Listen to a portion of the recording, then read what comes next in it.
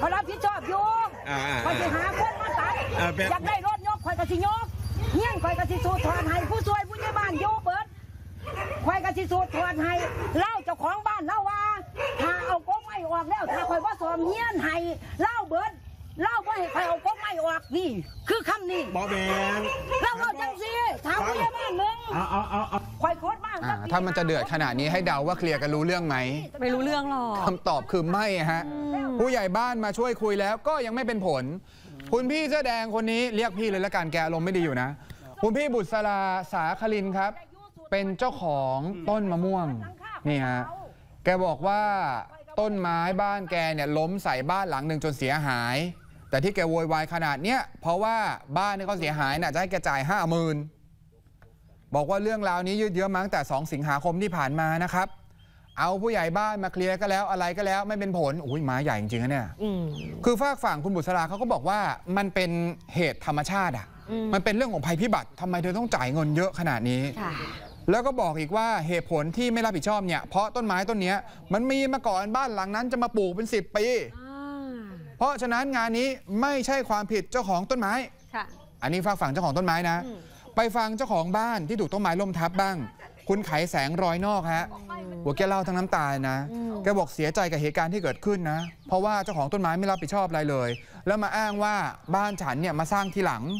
ถ้าจะพูดแบบนั้นน่ะ ฉันก็พูดมั่งได้ไหมล่ะอืมบ้านก็ไม่เดินไปหาต้นไม้นะอืมต้นไม้มันก็ล้มมาทับเองเหมือนกันแหละอ่าอะฟังเสียงหน่อยครับผู้ใดสิอยากให้มันปีนเพื่อนแบบมันบ่อนเป็นตีสาธารณะฉันก็อยู่แล้วบอกไม่มันลมทั อกให้เอาออกเสียออกจะได้ผลประหลับสอบเสียให้ลูกกับมันผัวนั่นอาถอกเสียออกได้เพราะคนไหนไงเพิ่นปฏิเสธแบบนี้นี่เพิ่นวิจารณ์ว่าบ้านเจ้าอยู่ที่หลังพวกไม่เกิดก้อน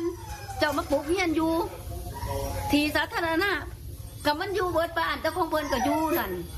ก็บ่แม่นว่านนั่นแล้วฉันสิไปปรึกษาผู้ใดสิไปหาผู้ใดสิไปมองได้ให้เพิ่อนว่าเออ ข่อยสิซอยเจ้าอยู่ดอกเอาออกจังซั่นจังซี่ฉันก็ข่อยสิจ้างรถหรือสิไปหารถไม่เจ้าเอาออกดอกก็ควรเสียหายก็จังเว้ากันนี่เพิ่นปฏิเสธทุกอย่างเลยแหม่แล้วฉันก็นั่งเฝ้าตัวสิฉันเฮ็ดจังใดยังคุยไม่รู้เรื่องนะฮะ ก็เลยทำให้ล่าสุดเนี่ยฝ่ายปกครองก็เลยบอกว่างั้นงั้นเดี๋ยวพยายามหาทางซ่อมให้ก่อนนะ นี่อุปกรณ์มาแล้ว เป็นกล่องโครงหลังคา 6 เส้น สังกะสีอีก 7 แผ่น ฝ้าเพดานอีก 10 แผ่น แต่พอเอามาดูหน้างงานปุ๊บ มันไม่พอซ่อมอะค่ะคือความเสียหายมันมากกว่านี้นะฮะ เพราะฉะนั้นฝากฝั่งของคุณพี่ขายแสงเจ้าของบ้านที่เสียหาย ก็เลยต้องเรียกร้องให้เจ้าของต้นไม้นั่นแหละ คุณบุษรานั่นแหละ ต้องมารับผิดชอบความเสียหายที่เกิดขึ้น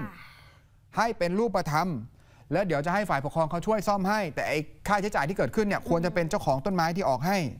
และสุดท้ายงานนี้ผู้ใหญ่บ้านเองก็ปวดหัวนะฮะค่ะเพราะผู้ใหญ่บ้านบอกว่ามาคุยแล้วอะก็ไม่ได้ความค่ะก็เลยได้แต่ขอลูกบ้านสองฝ่ายบอก เธอสองคนยุติความขัดแย้งไว้แค่นี้ก่อนได้ไหม เดี๋ยวฉันขอไปหาผู้หลักผู้ใหญ่ก่อนค่ะผู้ใหญ่บอกว่าต้องไปหาในอำเภอเชียงขวัญนะฮะอืมขึ้นไปถึงในอำเภอแล้ว เพื่อที่จะนัดสองบ้านเนี่ยมาไกล่เกลี่ยกัน แล้วแก้ปัญหากันต่อไปนะครับ ทั้งหมดทั้งมวลเดี๋ยวก็ไปว่ากันตามกฎระเบียบแล้วกันว่าเหตุการณ์แบบเนี้ยลักษณะแบบเนี้ยค่ะโอเคมันอาจจะเป็นภัยธรรมชาติ แต่เอ๊ะมันอืมต้นไม้มันมีเจ้าของนะอืมเจ้าของต้นไม้ต้องรับผิดชอบหรือเปล่าค่ะ